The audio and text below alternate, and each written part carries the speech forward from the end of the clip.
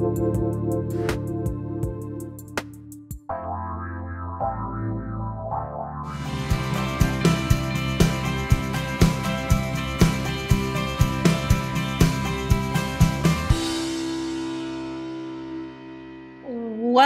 to the Kornelia Stephanie Show, everyone. I'm so, so excited for this brand new series that we're rolling out the series of the stories of hope.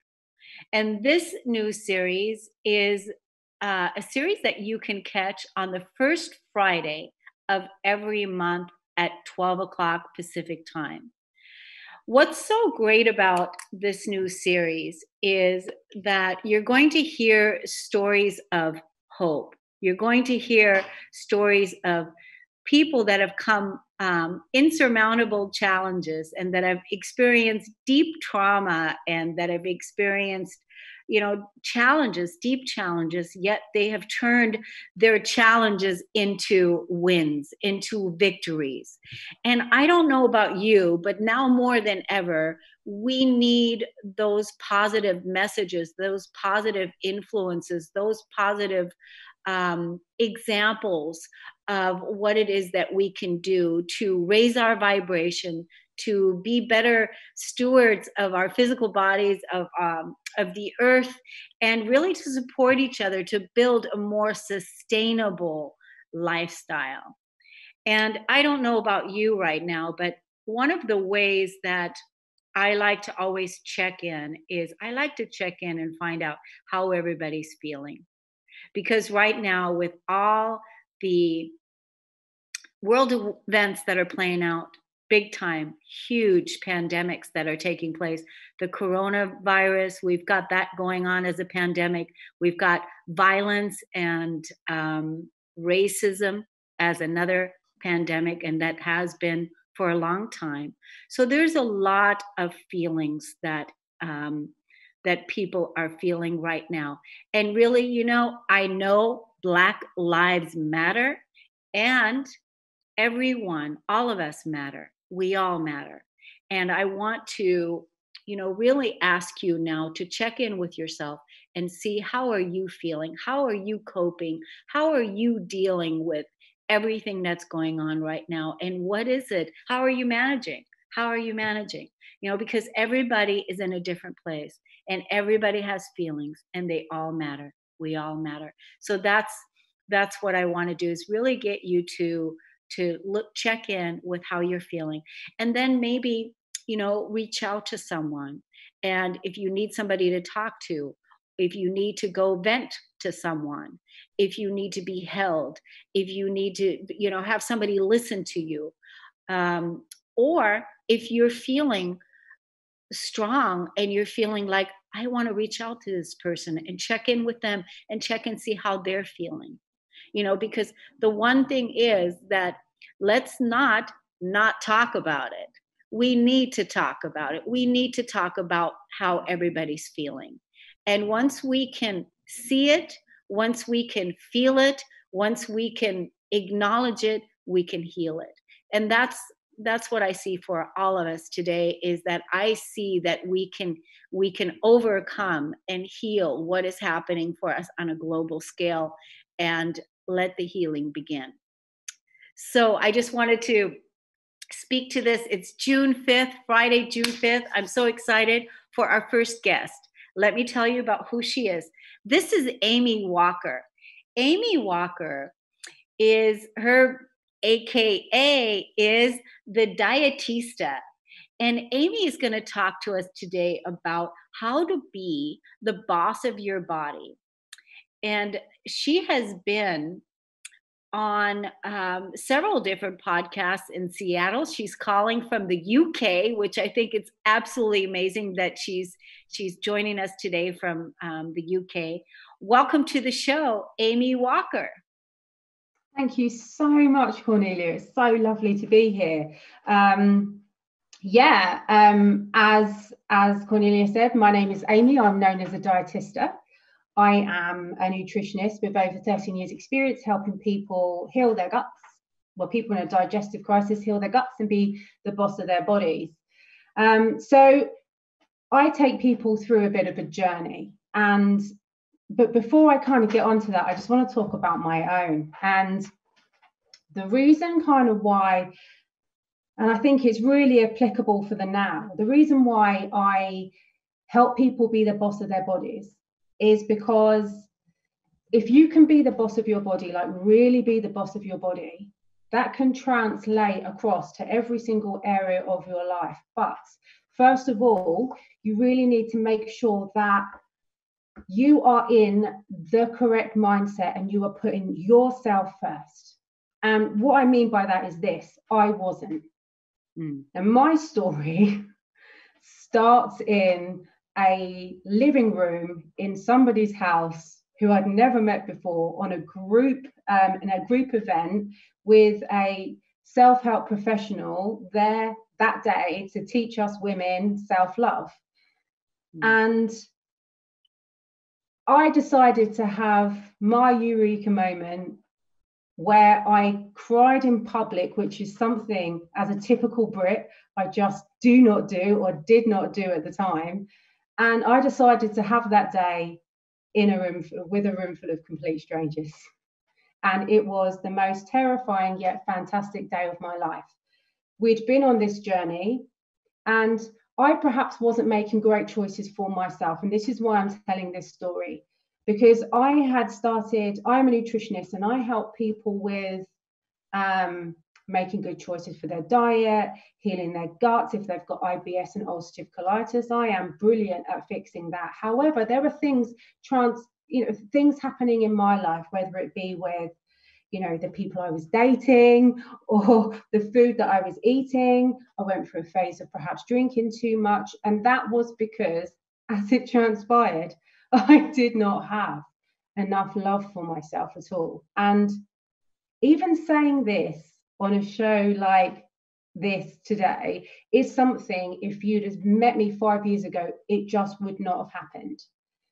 Because I was the type of person that held it all together. Everything was fine. If you did that, this, that, this would happen. Completely disconnected from myself, from the planet, from the human beings around me, and all the relationships that I had with my family, my friends. And um, I really couldn't understand why it was that certain things in my life, I class myself as a nice person, you know, certain things in my life weren't quite happening the way I wanted them to. And it all transpired that we were in a room um, and everybody was going around and, you know, really letting everything out beautifully and talking about the things that they were scared of and the things that they weren't happy with within themselves, within their lives, and they're being very, very raw and emotional. And I remember sitting there, not putting my hand up, hoping it would all happen and just go. And I'm thinking, I'm not speaking. I am not speaking. You, this is not happening for me. I'm not buying into this. Absolutely not. And you know what? I got away with it. I actually got away with it until he came around the room and he said, Okay, everybody, one last exercise before I go. He said, Put your hand on your heart, taking a deep breath. So I did. And then say to yourself, I love you and I could not do it. And right at the end of the session, almost free, I just broke down into tears. And it was the most beautiful and terrifying and vulnerable position, place I have ever been in. From that point, I decided that I was going to start making better choices for myself and look into what was going on with me a very long story short, and with a lot of fabulous help, I was able to identify that I needed to respect myself more, love myself more, and actually start putting me first, saying no to everybody that I was helping, which was everyone, depleting myself completely, saying no to people that, you know, I just didn't have the capacity for, not the love or the want to help, but the capacity for and actually start making the decisions in my life that benefited me. And the reason why I tell that story is because this is what I urge and work with alongside nutrition, my clients to start making for themselves. Because without making putting yourself first and actually truly feeling how worthy you are you are never going to be able to push past or be consistent heal your health have good relationships um, you know go on your entrepreneurial journey travel the world if that's what you want to do. You have to find it within yourself amy incredible. I love the whole dialogue and getting us to love ourselves more. That that's the place it has to begin. Mm-hmm. please tell the audience today where they can find out more about you how they can get in contact with you. Okay great. So you can catch me on you can get me on thedietista.com you can get me on Facebook, The Dietista, Instagram, The Dietista. And if you need to transform your life and your digestion and your health, that's how you get hold of me. Awesome. Thanks, everybody. We're going to take a quick break on the Kornelia Stephanie Show. We'll be right back. We'll be right back.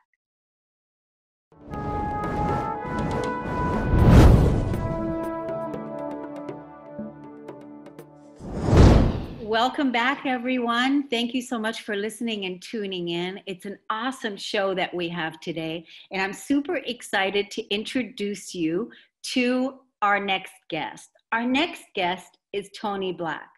And Tony is a mind body life coach. She specializes in helping adults transform through play. I'm super excited to welcome you to the show, Tony Black. How are you? Oh, I'm so glad to be here. Super happy to be here. I am doing well. How are you? I'm doing really, I'm doing really great too. So you are uh, calling from, you live in Okinawa, Japan. I do. I live in Okinawa, Okinawa yes. Okinawa Island. And, and this is just, I just love how, you know, how technology is able to bring us together even though you know we have the social distancing that we've been experiencing. And at the same time there is also another level of connection taking place that that normally we might not have have taken advantage of. And that is through you know doing these zoom recordings and um, meeting each other online more and more and more and and so that's that's what you're here to do today to share with us what your story of hope is what your core message is and share with us uh, our share with our beloved audience uh, an inspiring tale of your core truth. Thank you. Thank you. Well i'm excited to share. Okay. Uh, yeah. So my my core message today has to do with finding truth, finding your truth in struggle. Um, in my life, and I know that in, in, all of our lives, most of our lives, uh, we have lots of stories of transformation. Mine started with abuse, um, tragedy through the, my daughter's birth. She was born with eight feet of intestines outside of her body. I was homeless, institutionalization at one point uh, triumph of moving overseas. Um, I went, I moved from New Mexico to Germany and now to to Japan. So it's been a, you know, that that's been a fabulous experience. Uh, and also coming to terms with with being gay. Um, so life's been very very interesting, full of transformational experiences and opportunities. Um, but life as I know it today really began when I met my wife and I invited her to live with me in Germany. And uh, and her daughter eventually she came to live with us as well, and it was um, a, a very challenging experience mostly because my my wife didn't have at the time she wasn't my wife we couldn't get married quite yet uh, she had we had a lot of struggles trying to get her um, to be recognized as a citizen in the military community and eventually things started to fall into place thank goodness and we were able to get married and it was just a great wonderful happy happy day and uh, um, and so yeah that was that was a, a a great triumph. And her daughter ended up, she was living with us before, she ended up moving back to the States. And um, everything was just, it was just so hunky dory and just so fantastic and rosy. And, and I really just did feel on, on top of the world at the time.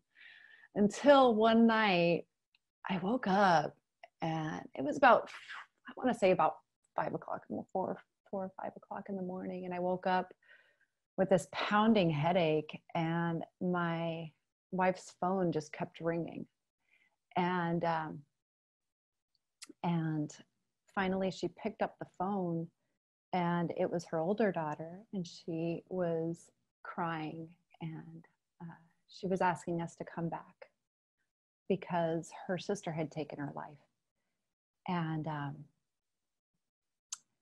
and so quickly we made plans to go back to the States to attend the funeral of her daughter. And uh, when we went to the funeral, it was just, uh, it was a surreal experience. It was just everything. I, I was a, a mover and a shaker, and I was really into uh, working out. I'm a NIA practitioner, and I was pra- doing teaching classes, and I was very, very active. And right there in that moment when I felt the the weight of this news i just couldn't move i could barely even breathe. And um, so when we get, went back to the states i went to the funeral and the and the wake and just seeing her daughter was at the time she was 13 years old. Mm. the one who passed away. And um, and at the time i remember seeing how many children were present for her funeral and i even remember her best friend coming in to the to the funeral home. It was an open casket which i just will always always just be very angry about. But uh, i remember her her best friend came in to the front door from the front door of the the funeral home and just seeing the way that she fell apart at the sight of her best friend. And uh, in, in that casket. And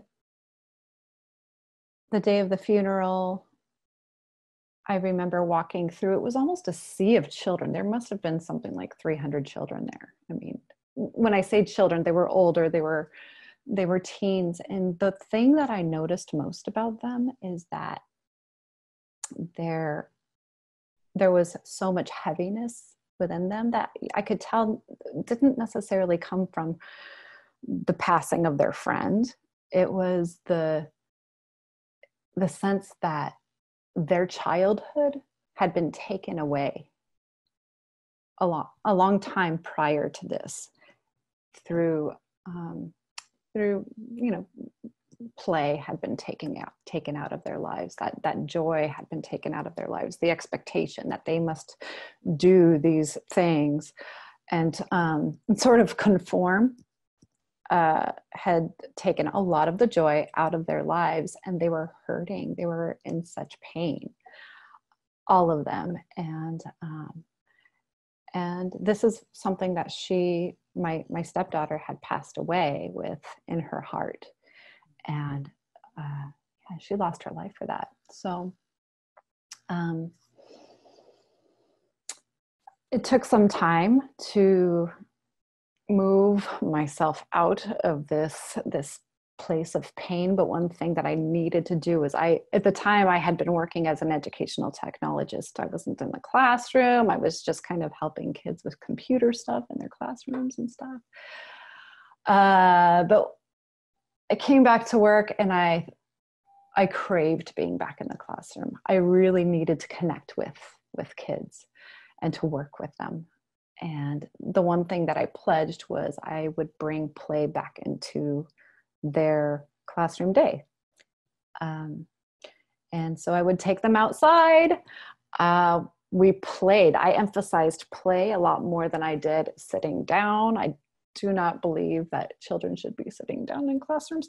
Um, they they really need play, and it was just so cathartic and so healing for me to be able to watch them play, to see them interacting with one another, to see them interacting with trees and nature and, you know, just their environment, because this is something that kids just don't do these days. It's not what they have. They have, you know, they're born with screens in their hands these days and they don't really understand what it's like to interact with their environment.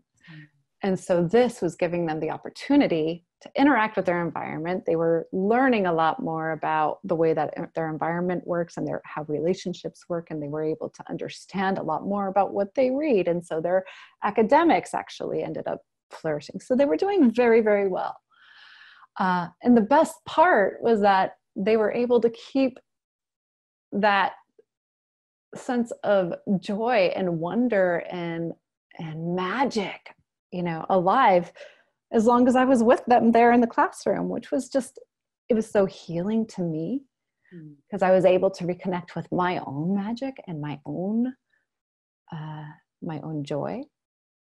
And this is something that I have continued to, to work on within myself, but it's also something that I believe all adults need.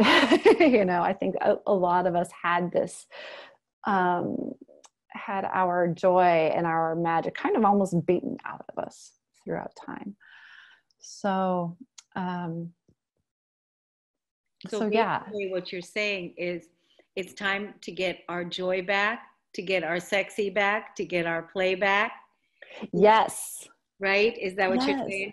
Yeah. Yes, yes. And to, you know, there was just so much truth in the struggle that I had experienced I, I reconnected with the parts of the with the parts that I just loved about my life way back way back in the day, you know, with art and music and creativity and movement. So yes, I believe that adults need to the, need to do the same thing.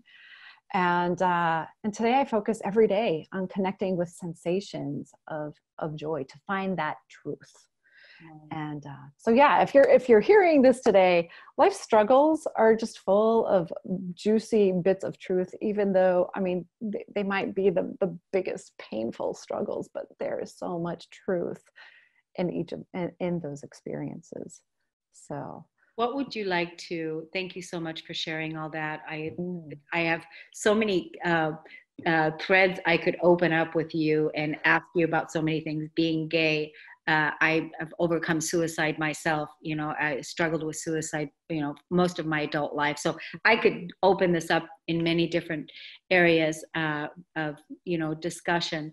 What would you like to leave our audience with? First of all, let's tell everyone how they can get in contact with you and how they can learn more about what it is that you do and where to go. Yes, yes. You can find me on Facebook at Tony Black. It's just Tony Black. That's my biz page. And um, you can email me at tony at mindbodyplayground.com. And I also have a website. Right now it's Tony and Kim. It's going to be changing mindbodyplayground.com. I love it. And I love the work that you're doing, bringing the play back. We all, you know, we all are our, our children, our children's children, our inner children, our grandchildren. It's really time to bring um, the joy back and give that wholesome, uh, simple way of connecting with nature. Uh, oops, of connecting. Exciting. yeah, of connecting with nature, and you know, so that we can go back into our organic play because that's that's what it is. You know, to have to have fun and to play and to enjoy. Absolutely. So, what would you like to leave our audience with today? What's the what's the message you would like to leave us with? Just that life is appro- if life is approached with joy uh, beginner's mind and the wonder of rebirth that is revealed through through transformation. Um, you can you can sense this through sensation. You can do it through creation and through connectivity. So yeah so so go out there go play go connect with that that you know that inner child that wonderful part of yourself Thanks, Tony Black. Thank you so much. Thank you, everybody, for listening and tuning in. We're going to go to a break and we'll be right back.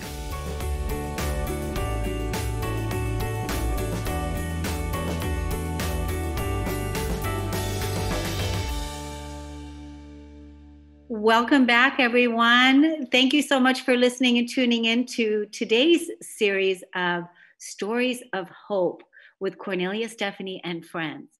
I'm going to get straight away into it and I'm going to introduce you because we we're going to want to we're going to want to talk to this lady. Her name is Kathy Newbith. Is that Nesbitt. how Nebith? Nesbitt. Nesbitt. Welcome to the show, Kathy. It's Thank nice you. to have you on. Thank you. Yes. And so let's tell the audience a little bit about you. So, you are here to talk to us uh, uh, about how to live a sustainable life. And you are a health and wellness advocate. You are the founder of Kathy's Crawley Com- Compost, right?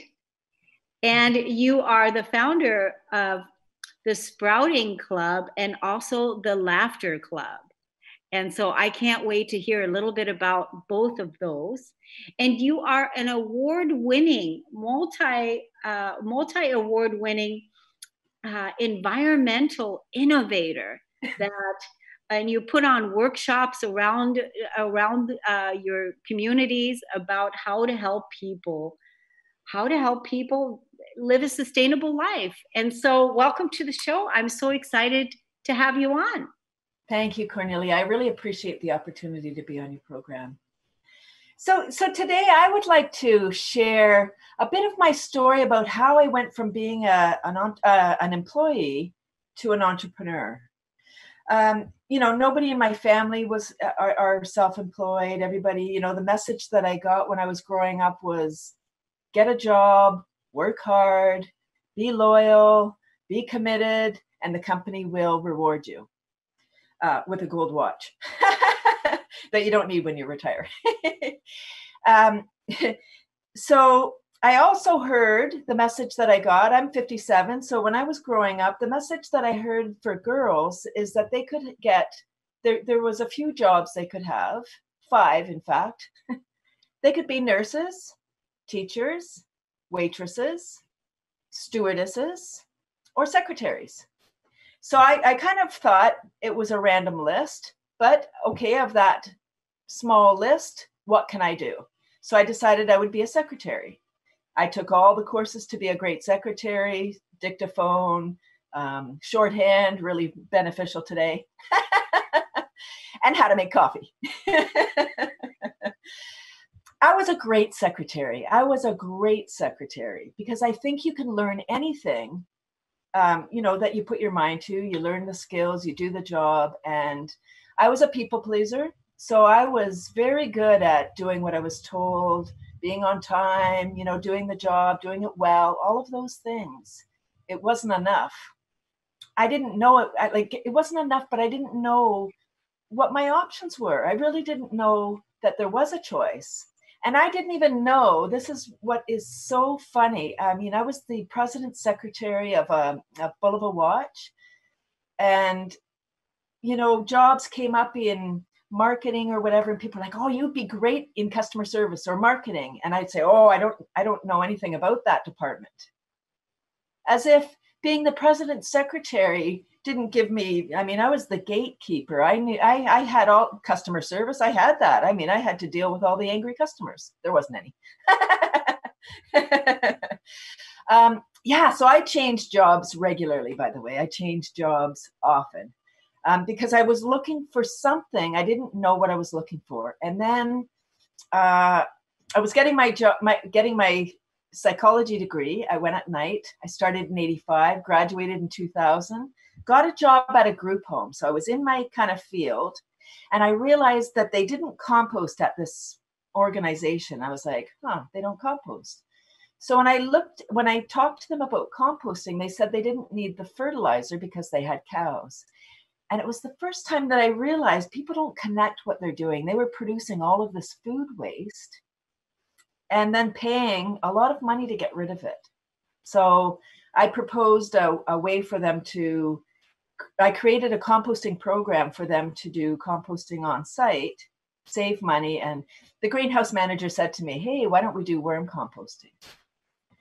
Now, I missed a piece of my story, but uh, when I moved out of, uh, I moved into my house, a teacher friend asked me to look after her worm bin for the summer. And as an avid gardener and composter, I knew the value of the compost, but I didn't like worms. so I took on the challenge. I, I think also we should take on challenges. You know, people allow other people to decide for them way too often. I think, you know, when somebody says, um, hey, you want to try this? And somebody pipes up and says, you won't like that. Oh, good. Thanks for saving me the time. right? We need to try things for ourselves. So I took on the challenge of these worms in my house.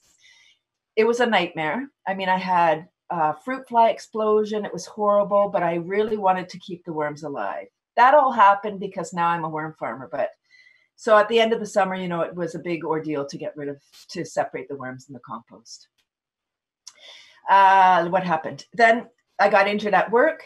There was an ad in the paper, and uh, it said, Are you a woman? Do you have a business idea? And it was a six month course to take a business, to write a business plan. So I said to my husband, I'm quitting my job at the group home. I'm taking this course. I'm starting a worm business because I knew the value. I mean, I missed a piece in there. People will have to visit my visit my page for the rest of the story. so I so I took that course. That was 2002, and then um, I started my business in 2002, there was a garbage strike. Now, my business is indoor composting with worms, worms in the house. Um, I'm just I'm just outside of Toronto. Six million people, half of them living in condos or townhouses without outdoor, outdoor space for composting. In 2002, our landfill closed, and we started shipping garbage to the United States. Not just out of out of Canada, we shipped our garbage to Michigan. Can you imagine? No, I can't. I've never heard of anything like that.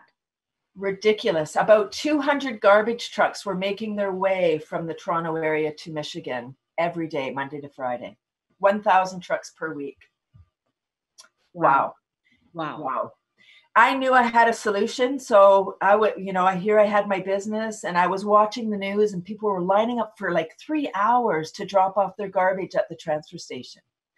And I thought, those people don't compost because if you compost, it takes the stink out of garbage and then, you know, the strike can go on. Anyway, so I wrote, I decided I was going to go on a road trip and I wrote, uh, I sent press releases to all the Toronto media outlets. And five minutes after, a reporter called me and said, Thank you for your press release.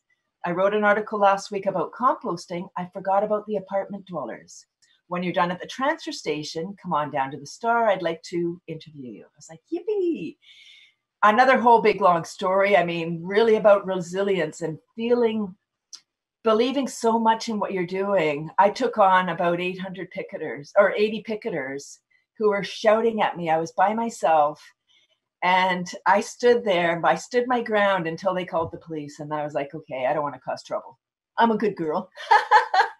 So I, I got my first article in the Star July 18th, 2002. I called up my husband. I was like, Yay, I got an article in the Star. And he said, I'm on my way home. I just got downsized. Oh, my gosh, now we have no income and we sell worms by the pound. Oh my gosh, what are we going to do? You know, so it's really my message, I guess, today is staying, being true to yourself if you're in a in a job that you're like I'm, I'm not really happy here this is a perfect time to think about what do you want to do? Do you want to have your own business? I have to tell you, like being a secretary gave me so many skills people skills, secretarial skills, admin skills, bookkeeping, all of the skills that you need to run a business. Yes. I'm so grateful that I had all that time. I don't think I needed to spend 20 years there, but I did. and you know, um, so I would, I really want to let people know that life we have one life to live. Live your life. And and i feel like i'm living a, a, magic carpet ride now that i found my way.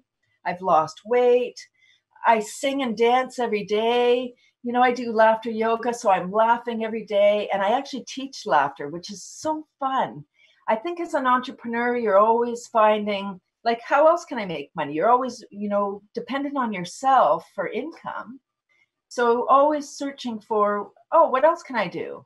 What else brings me joy that I can bring joy to other people at the same time? You know? That is such a beautiful, exactly perfect opportunity for us right now for so many people out there that are facing you know the situation that you're talking about i love your story please let's tell the audience how they can find out more about you oh yes please thank you so uh, they can visit my website i have a few but i'll just give you one it's cathyscomposters.com um, i'm on twitter at squirm facebook linkedin uh, i'm all over social media and a little tip i don't even have a cell phone you don't even have a cell phone. So I, don't have, right? Yeah. yeah.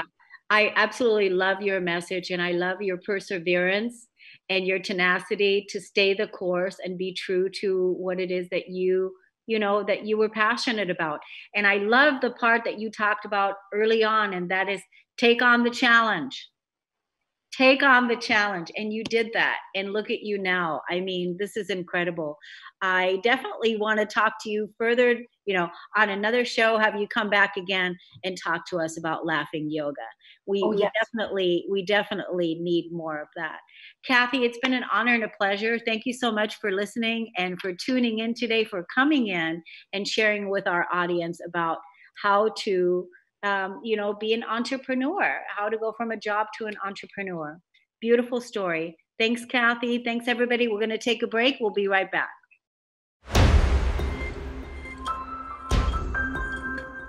Welcome back, everyone. How are you loving this series? I want you all to tell us in the Transformation Talk Radio Facebook page. Let us know how you're enjoying these stories. I can't wait to share with you now this is another beautiful, beautiful story. The message that um, Dr. Venus is going to share with us. She is very well known all over the world. She's been on so many uh, news media um, shows. She's been on CBS, on Fox. She's been on many um, shows out there in the media and also reality TV. So, welcome to the show, Dr. Venus. Thank you very much. I really do appreciate the time to talk to you today. It's wonderful that you're here because you have, you know, generally your message because you do everything with the body and fitness and health and wellness and and all of that. And so today you want to talk to our audience about a very important topic and that is how to stay how to stay out of stress, right? Absolutely. I think right now it's so very important to remember that as stressful as life can be, as trying and as much tension as there can be in life these days, that we always have to do our best to take care of ourselves. Um, I, uh, as a board certified physiatrist, uh, that is what my specialty is in. I had uh, I have my medical degree from the University of Miami, but my specialty is physical medicine and rehabilitation. And through that, I do work in the hospital uh, in the rehabilitation unit, unit. I work with patients who have suffered strokes or have had a brain injury or even a spinal cord injury. I try to restore their function and optimize it so they can live as fulfilling a life as possible, as optimized as much as they can be. Um, but I've found that I, what my real true calling is is to be able to keep people from seeing me in that rehab unit i would love to be able to prevent all of the, the chronic medical diseases that actually lead to things like stroke and heart attack and, and things of that sort so i put a lot of my focus into preventing that through making lifestyle changes what you're eating what you're what you're doing in terms of physical activity and absolutely what you're doing to uh, manage the stress in your life. It is so stressful these days. I, I, I can't even I can't even describe, but I don't have to because all of us are living through it. Um, and the reason why this has become particularly important to me is mostly because of um, a couple of years ago, actually, um, four years ago now, um, my father suffered a stroke. Mm. And that absolutely crushed me here I am, I'm a physician who cares for people with stroke. I, I help support the families learn how to manage these very their loved ones and and the new stroke that they are now having to to deal with that is what I do for a living. I deal with it day in and day out. And here it happens to me, and it absolutely crushed me. I was devastated. I've been a fitness competitor. I was a fitness competitor for 20 years. So, dieting, very strict dieting, very strict exercise regimen was part of my life and it was it was easy. I learned to make it easy because I just made it a very scheduled part of my life. Um, so it came naturally to me after 20 years it came naturally to me. And these things that were natural all of a sudden i just shoved aside. I didn't care about what i was eating i didn't care about getting out there to try to do any kind of exercise i just wanted to help care for my father and give him everything that he needed so that he could feel that he was still important that he was serving a purpose in in my life that that there was a purpose for him. But in so doing i absolutely I fell into this hole. I, basically, it was a hole of apathy. I didn't care about my own well being. Mm. It came to a point where I was sitting on a couch while my father was resting. I had given him a little buzzer so he could call me if he needed anything. And I heard that buzzer go off while I was watching some television, totally zonked out. and as soon as I heard that buzzer, such frustration and anger built up in in me. I was I was I was exhausted and here I was I had to get up and and take care of whatever he needed. And then right before I stepped into his bedroom I realized I can't walk in here looking and feeling like this. I don't want him to see that frustration and anger in my face. And that's when I realized I had to do something. I had allowed myself to fall into this pit of apathy where it was affecting how I was going to be able to to care for people I love for. And and that's when it kind of all turned around. I realized as busy, as overwhelmed with my medical practice, with caregiving for my father, um, and just trying to manage life in general, as overwhelmed as that, that was, I I had to find a way out. And I realized that the, the best way was just take one step at a time take one rung at a time if I'm climbing up a ladder, just one little step at a time. So the next day, I just decided to sit on this little recumbent bike, the type of bike that you have when you're sitting down, um, and pedal away for about 15 minutes before I headed off to work that day. That's all it was 15 minutes. I didn't worry about the diet, I didn't worry about uh, uh, how long I was going to be on there. I just had some time to do 15 minutes, and then I said, okay, time to go to work. And that was it. I did that for for a week and all of a sudden I just started to feel better about that one little thing. Here I am, the type who was able to train in the gym for an hour every day, eat uh, six ounces of chicken and, and a, a half a cup of brown rice. I was able to do all of that before, but just that 15 minutes on the bike was all I needed to start making steps toward feeling better and doing things better for myself so that I could do things better for others as well. That's so powerful. I'm so inspired by that. And I know our audience is too. 15 minutes. Brilliant. It's brilliant. It's brilliant. That 15 minutes is all it took to jumpstart you know a new a new way out of the place where you were feeling yeah so absolutely just that, one little step because that gives you the energy to then maybe oh okay today i think i'm just going to say no to all that snacking in between let me just do that. And then that's the next little habit. That's just going to make you feel even a little bit more better. yeah. And so that's the one thing. So, what is it that our audience can do now, right, for 15 minutes that they can jumpstart? What would you like to let's let's tell the audience where they can look you up and find you because I'm sure that uh, you share on your social media. How can people get in contact with you? Oh, absolutely. You can jump over on Instagram. You can find me easy, Doc Venus, D O C V E N U S. Or if you're if you're more of a Facebook person, Dr. Venus, and you'll just spell out Doctor, D O C T O R V E N U S. Yes, beautiful. Thank you so much. What do you want to leave the audience with today? Just we have like two minutes to wrap it up. What do you want to give them a call to action to do? Well, today I just want you to think I'm not even going to ask for 15 minutes from you. All I want you to do is take three minutes. do a four, seven, eight breath. Inhale for a count of four, hold your breath for a count of seven, and then exhale for a count of eight. Do that four times, and you will immediately start to feel better. You'll feel more calm in these stressful times, and you'll lower your cortisol levels, which can do a lot to increase all of your risks for so many different chronic diseases.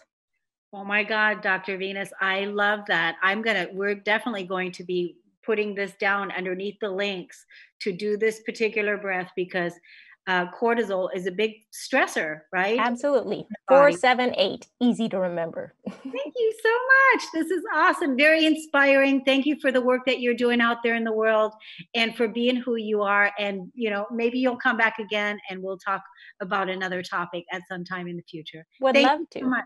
Yes. Thank you, everybody, for listening to the Kornelia Stephanie Show. We're about to head on over to the Energy Entrepreneur with Diane Solano. And thank you so much for this series of hope, these beautiful inspirational stories of victory and triumph about how to come together and make a better world. Thank you so much. We'll see you all next time.